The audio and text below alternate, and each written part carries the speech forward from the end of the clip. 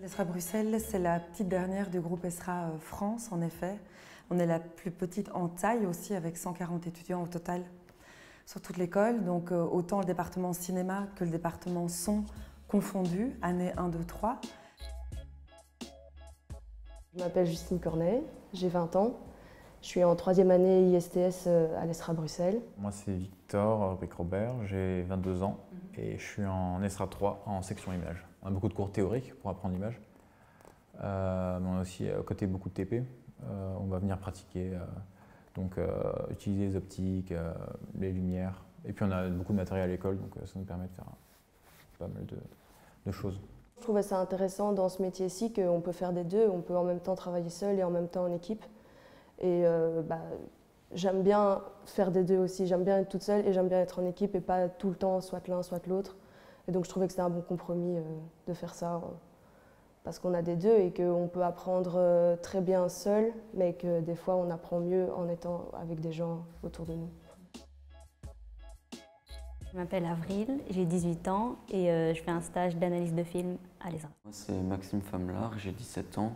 J'aimerais bien l'année prochaine tenter euh, l'examen d'entrée à l'IAD en montage script. Et donc on a besoin de faire euh, une analyse filmique. Et donc comme je n'avais jamais appris à faire ça, ben, je m'étais dit que c'était l'occasion d'apprendre. Parce que je trouve que fait, le montage, ça permet de rendre quelque chose de mauvais en bon et de pouvoir ajouter sa touche personnelle au film. Et j'adorais l'ambiance de groupe parce que les élèves avaient l'air super motivés et euh, de travailler avec des, des, élèves de toutes les sections, je trouvais ça, l'ambiance avait l'air super euh, chouette. Quoi.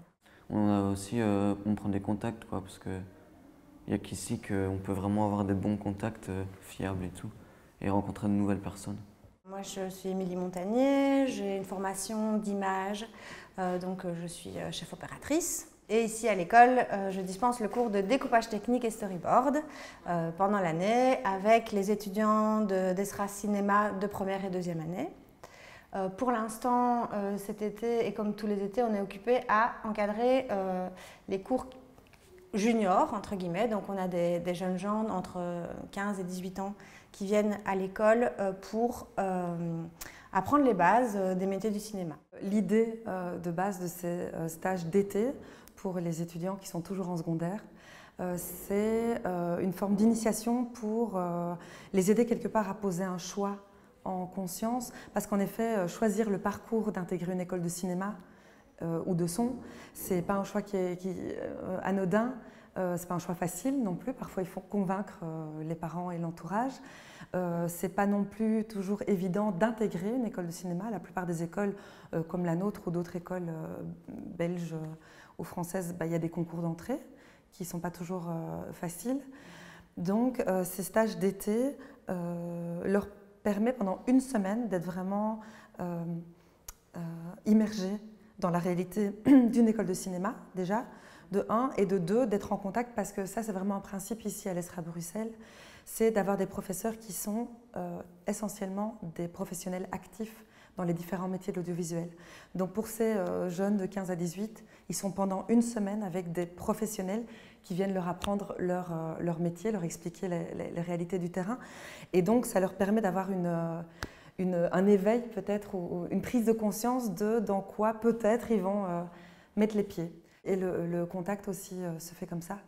Donc ça c'est vraiment un gros gros avantage. Puis ça rend le côté cours théorique également très dynamique en fait.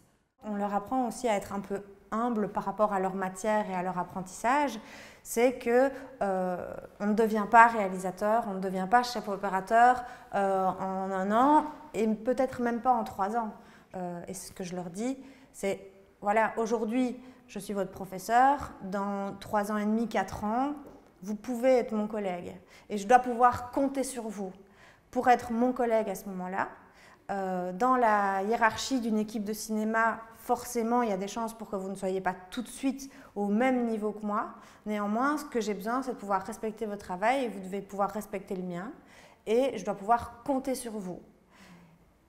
Et grâce à toutes les bases que vous aurez, que vous aurez apprises, aux expériences que vous aurez eues, aux films que vous aurez réalisés, euh, vous pourrez rentrer dans ce milieu, rentrer dans cette équipe et faire vos preuves et au fur et à mesure euh, monter et devenir la personne que vous voulez être. Bah, comment je vois la suite euh, Je sais que ça va être un peu compliqué du coup, et par rapport au, Covid, tout ça, de trouver parce qu'il y a beaucoup moins de tournage, tout ça. Même pour trouver des stages, c'est un peu plus compliqué. Surtout en plateau, je pense, parce qu'il y a d'autres domaines où c'est plus simple. Par exemple, dans le montage, je pense qu'ils ont trouvé plus facilement. Et euh, non, bah, pour l'instant, je pense que je vais, euh, je vais essayer de, je vais essayer de faire un maximum de tournage et d'essayer de, de, ouais, me faire des contacts. Quoi. Je pense que c'est la meilleure solution.